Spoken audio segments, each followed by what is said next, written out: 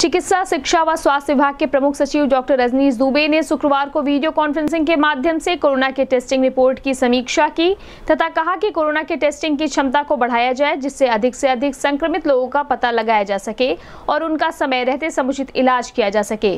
प्रमुख सचिव ने कहा कि प्रदेश के सभी जिलों में टेस्टिंग लैब की क्षमता को बढ़ाया जा चुका है, इलाज की समुचित व्यवस्था है, इसलिए कोई भी कोताही न बरते और टेस्टिंग की क्षमता को प्रतिदिन एक लाख किया जाए। गोरखपुर के एनआईसी हॉल में आयोजित वीडियो कॉन्फ्रेंसिंग में बीआरडी मेडिकल कॉलेज के प्राचार्य डॉक्टर गणेश कुमार सहित संबंधित चिकित्सक मौजूद रहे। बाकी जो सेंट्रल गवर्नमेंट की लैब्स हैं, जो छोटी लैब्स हैं, या जो हमारे मेडिकल कॉलेज के इंस्टीट्यूशंस हैं, छोटे नए वाले, उनके लिए भी क्या मैकेनिज्म रखा जाए, इस पर भी हम लोग अभी चर्चा करेंगे। तो ये एक अलग से मीटिंग हो रही इंपॉर्टेंट पॉइंट आ गया। और छब्बीस तारीख को टेस्टिंग हो जाए, सबका नाम लिख जाए कि लैब्स चालू हो गई। सत्ताईस को पीएम की मीटिंग में कंप्लीट वो प्रोसेस आई। इसी से मुझे याद आ रहा है कि इसमें अभी बाद में बात करेंगे, कुछ इंपॉर्टेंट बातें मैं कह लू।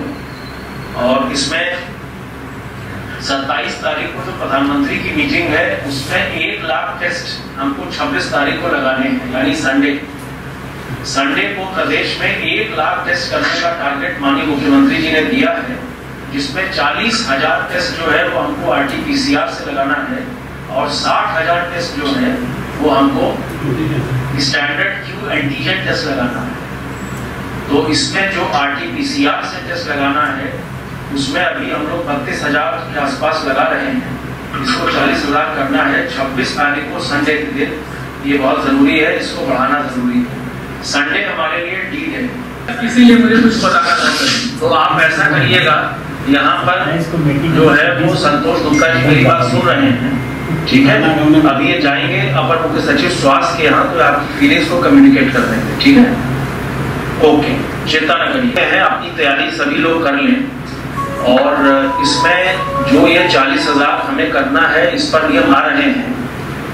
और एक जो इम्पोर्टेंट चीज़ है ये इससे जुड़ी हुई वो आई है लैब पेंडेंसी उस पर भी बात करनी। इसमें भी अभी हम कुछ जो बड़ी लैब्स हैं, उनसे शुरुआत करेंगे।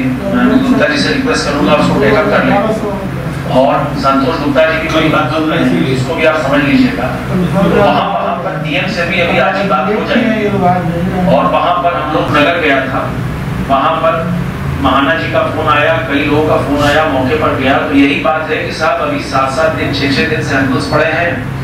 पता लगा कुछ छोटे ज़िले हैं उनके भी सैंपल हो रहे हैं जहाँ पर अभी कोरोना बहुत कम ज़्यादातर नेगेटिव निकल रहे हैं। उसके चक्कर में ये जो बड़े या सेंसिटिव ज़िले हैं उनके भी सैंपल फंस जा रहे हैं। तो प्रायोरिटाइज करके फोकस इंटेलिजेंट सैंपलिंग हमें करनी होगी। वो बहुत ज़रूरी है। उस पर भी अभी बात कर लेंगे। एट द सेम टाइम अब चूँकि हम 40,000 पर जा रहे हैं उसके हिसाब से भी हमको सैंपलिंग की स्थिति को देखना होगा।